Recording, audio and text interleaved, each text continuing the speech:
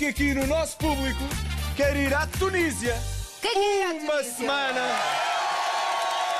Uma semana de papinho para o ar com tudo incluído.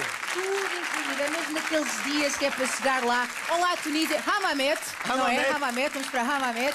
E É a viagem que vamos dar hoje, é o prémio de sonho, o prémio final do Nunca Digas Nunca. viagens. Vamos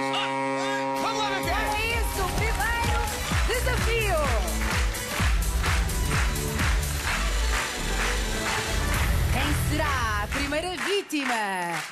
Está? Where? Where? Tá! Oh my God! Oh my God!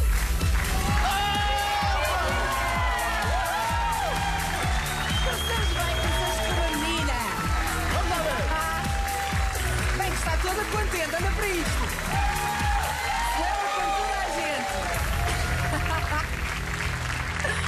Maravilha, já temos a primeira concorrente preparadíssima para vir aqui ao primeiro desafio.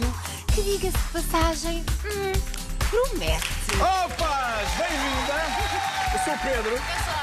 Esta És menina que está aqui lado é a Ana Ana, Sofia. Primeira. Ai, peraí que já te sujeito lá tudo, mas agora Bom. O que é que eu estou a sentir aqui no nosso estúdio do Nunca Digas Nunca? Antes de mais, estou a sentir um ligeiro nervosinho. Nesta menina, nada? Nada. Olha bem para mim. Ai, meu Deus. Ai, beijo-me na testa. Oh, gostei. De onde é que tu vens? Matozinhos. Matozinhos, é Nada malta que com garra. 27. 27 anos e cheia de coragem, certo? Ai, meu Deus. Quais são os teus hobbies? Os meus hobbies. Sou vocalista numa banda de música Pimba! Bom, então gostas de cantar, não é verdade? Ela gosta de cantar. E vais ter que cantar.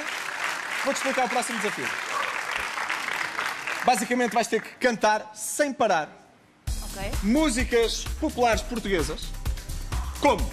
Vais pôr uma mãozinha dentro de uma destas caixas e enquanto a mão está lá dentro, tu vais ter que cantar. Quando a música mudar, é Ah, sinal que passaste, ah, passaste uma etapa. Ok. São seis caixas.